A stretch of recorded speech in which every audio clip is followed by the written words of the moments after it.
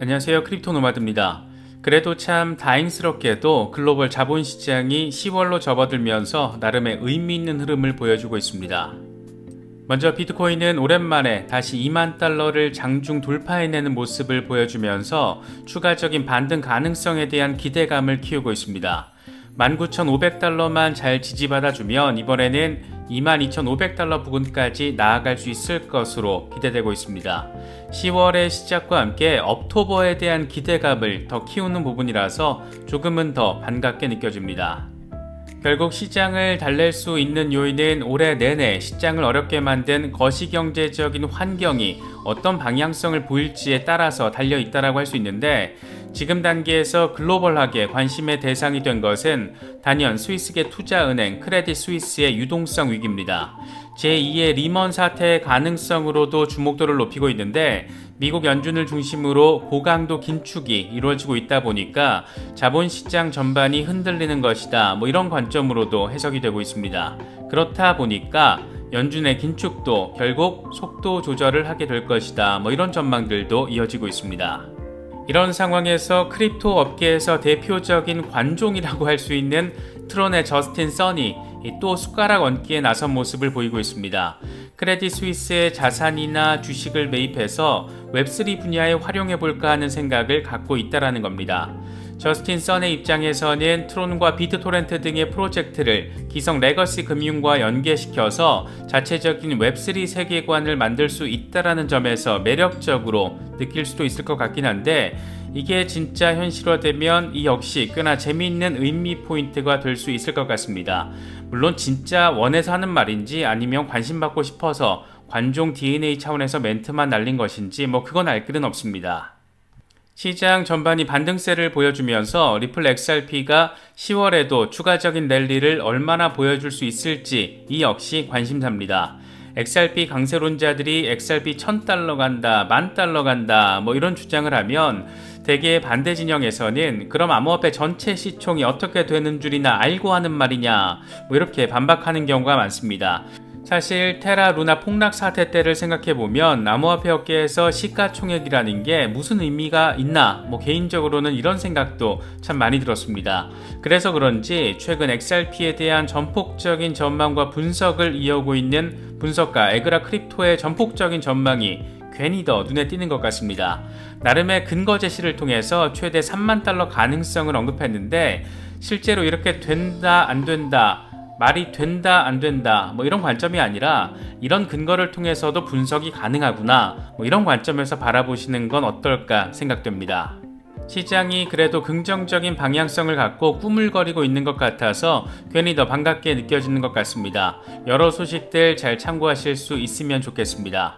본격적인 시작에 앞서서 좋아요와 구독 또 알림 설정 꼭 부탁드리겠습니다. 영상 제작에 아주 큰 도움 된다는 말씀 함께 드립니다. 그럼 시작하겠습니다. 먼저 비트코인 상황입니다. 그래도 참 오랜만에 비트코인이 장중 2만 달러를 돌파하는 모습을 보이면서 나름의 반등세를 확인했습니다. 이제 좀 2만 달러 위로 올라설 때가 됐다 싶은 뭐 그런 생각이 들 때 그것도 10월 랠리 기대감에 딱 맞춰서 반응해줘서 그런지 조금은 더 반갑게 느껴지는 것 같습니다. 비트코인의 흐름과 관련해서 분석가 마이클 반데포페는 시장이 상승세를 향해 가고 있다. 19,500달러가 지지라인으로 뒤집히고 있다. 비트코인 19,600달러를 잘 지지받으면 그 다음으로는 22,400달러까지 나아갈 수 있을 것으로 생각된다. 이렇게 긍정적인 부분에 방점을 찍었습니다. 익명의 분석가 스탁머니 리자드의 경우에는 좀 더 거시적인 관점에서 현재 상황을 바라봤는데 그는 phase 2가 거의 끝나가고 있다. Uptober는 좀 더 상승하기 위한 좋은 시작 지점이 될 수 있다. 이렇게 멘트를 날렸습니다. 이게 뭔 소리냐? 함께 공유한 차트를 보면 그는 2018년부터 2020년까지 phase 1부터 3까지가 진행된 뒤에 한 번의 사이클이 다 진행이 됐는데 phase 1부터 2까지가 조정, 또 phase 3가 강세 랠리였고 이때 강세 랠리는 미니 랠리 수준이었다라는 점을 설명을 했습니다. 2021년으로 접어들면서 새로운 사이클이 시작이 됐고 phase 1 당시에 고점 찍고 하락 이후에 두 번째 고점 그러니까 지난해 11월 전고점 찍고 폭락 그리고 나서 하락쐐기형 패턴을 만들면서 조정 이제 남은 건 phase 3인데 이건 역시 강세장이 펼쳐질 거라는 점을 차트를 통해서 설명을 하고 있습니다. 이런 거 바라보고 있으면 뭔가 괜히 더 기대감을 갖게 되는 것 같습니다. 또 다른 분석가 TA 트레이더의 경우에는 비트코인의 일간 candle이 작은 강세 candle 형태를 보여주면서 마감을 했는데 2주에 걸쳐서 형성된 대칭 삼각 패턴의 상단 저항을 뚫어냈다. 이렇게 설명을 했습니다. 이건 통상 강세 랠리를 의미하는 것이기 때문에 저항선을 돌파했다라는 것 자체만으로도 기대감을 갖게 만드는 부분입니다. 이런 기술적인 흐름을 현실화시키는 직접적인 요인으로는 단연 글로벌 거시경제 환경일 수밖에 없습니다. 결국 미국 연준이 긴축에 대한 속도 조절에 나설 것이냐, 나선다라면 언제 나설 것이냐, 어느 정도 수준으로 나설 것이냐, 뭐 이런 부분이 중요할 수밖에 없는데 이와 관련해서 지금 글로벌하게 관심을 받고 있는 것은 단연 스위스계 투자은행 크레딧 스위스입니다. 굴지의 스위스계 투자은행으로 불리는 크레딧 스위스는 지금 유동성 위기 우려가 불거지면서 지난 주말부터 시장을 상당히 긴장하게 만들고 있습니다. 이런 상황이 주요국들의 긴축으로 인한 것이라는 평가가 나오기 시작하면서 결국 시작점을 만든 미국 연준도 긴축에 대해서 속도 조절에 나설 수밖에 없지 않겠느냐 뭐 이런 전망들도 나오고 있습니다. 일단 스위스 증시에 상장된 크레딧 스위스의 주식은 장 초반 10% 넘게 폭락을 했습니다. 물론 장 막판에 낙폭을 줄이면서 0.93% 하락한 채 약 보합 마감을 하긴 했지만 5년 만기 신용부도 스와프 CDS가 355bp까지 치솟으면서 우려를 키웠습니다. CDS 프리미엄은 부도나 파산 등으로 인한 손실을 다른 투자자가 대신 보상해주는 파생상품 수수료를 의미하는데 CDS를 발행한 기관이나 국가의 부도 가능성 또는 신용 위험이 높아지면 이 프리미엄이 함께 오릅니다. 시장에서는 크레딧 스위스가 유동성 위기를 겪으면서 파산 수준의 위험에 직면할 가능성이 꽤나 심각한 수준으로 평가했다라고 바라볼 수 있는 그런 부분입니다. 앞선 영상에서 짚어봤지만 지금의 상황을 오히려 더 악화시킨 것은 크레딧 스위스의 CEO였습니다.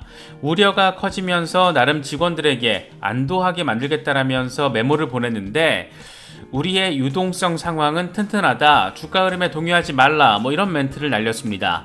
그런데 이게 하필 2008년 리먼 사태 당시 리먼 경영진의 멘트와 거의 똑같다 보니까 설마 설마 했던 리먼이 무너진 것처럼 설마 설마 하다 크레딧 스위스도 맛탱이 가는 것 아니냐 그렇게 제2의 리먼이 되는 것 아니냐 뭐 그런 우려가 커졌던 겁니다.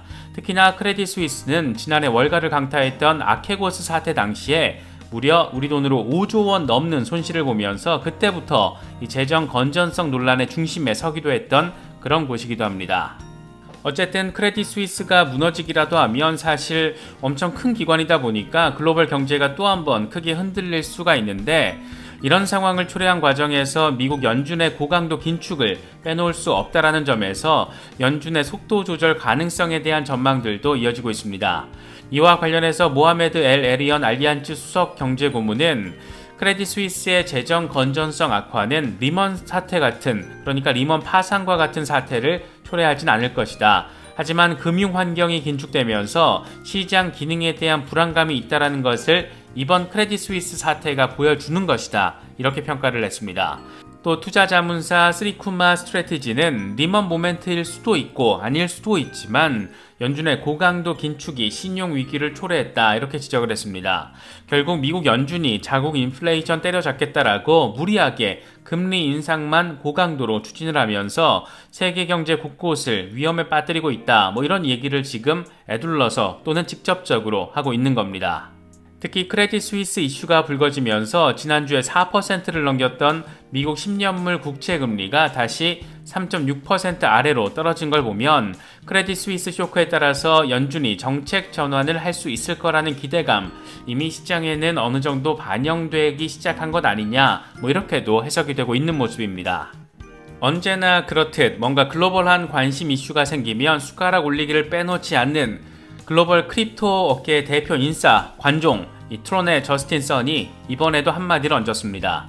그는 크레딧 스위스의 자산이나 주식을 매입해서 이걸 Web3 분야에 활용하는 것에 관심이 있다. 이렇게 짤막하게 트윗 멘트를 날렸는데 사실 이런 일이 만약 현실화된다면 트론과 비트토렌트 생태계에 꽤나 의미 있는 도약의 지점이 마련되는 것으로도 바라볼 수가 있습니다. 기성 legacy 금융 가운데 나름 브랜딩 파워가 있는 곳을 활용해서 이미 구축된 블록체인 생태계를 연계시켜서 나름 단단한 Web3 기반의 트론 세계관을 만들 수도 있기 때문입니다. 물론 저스틴 선이 이런 비전을 가지고 멘트를 날린 건지 관종 DNA를 못 이겨서 멘트부터 날린 건지 뭐 그건 알 수는 없겠지만 저런 접근 자체는 블록체인 생태계 발전과 채택, 기성 금융과의 조합의 차원에서는 꽤나 의미 부여가 가능한 부분이 아닐까 생각되기도 합니다. 시장 전반이 반등 모멘텀을 보이면서 9월 한 달 동안 30% 폭등을 확인한 리플 XRP가 과연 10월에 추가 폭등을 이어갈 수 있을지 관심사이기도 한데 이와 관련해서 XRP 강세론을 견지하고 있는 분석가 에그라 크립토가 꽤나 전폭적인 전망을 제시했습니다. 보통 XRP 1000달러, 만달러 뭐 이런 전망이 나오면 반대 진영에서 시가총액 이슈로 반박을 하는데 이번 전망과 분석은 시총의 관점이 아니라 이런 근거를 통한 분석도 가능하구나 뭐 이런 관점에서 바라보면 어떨까 싶습니다. 개인적으로는 사실 테라 루나 이 폭락 사태를 겪으면서 시가총액이 뭔 의미가 있나 뭐 그런 생각도 많이 들었던 것 같습니다. 에그라 크립토는 첫 번째 불런 이후에 비트코인과 이더리움의 피보나치 확장을 XRP 가격에 대입을 해보면 200달러에서 3만 달러의 XRP가 도달할 수 있다라고 전망했습니다. 그러면서 XRP는 거대한 오름차순 삼각형 패턴을 형성하고 있고 이게 손상되지 않고 예상대로 진행된다라면 589달러에 도달할 수 있다라고 설명했습니다. 그러면서 white gigantic ascending triangle의 가격 목표는 1777달러인데 이게 수학적이고 논리적으로 달성 가능한가 이런 질문에 대해서 나는 yes라고 확신할 수 있다라고 말했습니다. 근거는 피보나치 확장인데 비트코인이 피보나치 370에 도달했을 때 6만 9천 달러를 찍었고 이더리움이 피보나치 5382에 도달했을 때 4,800달러를 찍었다. 이런 확장을 XRP에 대입하면 200달러에서 3만 달러가 가능하다. 뭐 이렇게 나름의 논리 구조를 완성했습니다. 200달러라는 숫자만 들어도 괜히 흥분되는 것 같은데 실제로 언제쯤 이렇게 될지 뭐 예단하기는 어렵겠지만 XRP와 리플의 비전을 신뢰하는 진성 XRP 홀더분들에게는 나름의 위안이 될 수 있는 그런 분석이 아닐까 생각되기도 합니다. 당장은 아니지만 기술적 분석으로는 이런 분석도 가능하다더라 이런 점 참고하시면 좋을 것 같습니다. 이번에 준비한 영상은 여기까지입니다. 영상이 도움이 되셨다면 좋아요와 구독 또 알림 설정 꼭 부탁드리겠습니다. 영상 제작에 아주 큰 도움 된다는 말씀 함께 드립니다. 언제나 성투하시기를 기원하겠습니다. 시청해주셔서 감사합니다. 지금까지 크립토 노마디였습니다.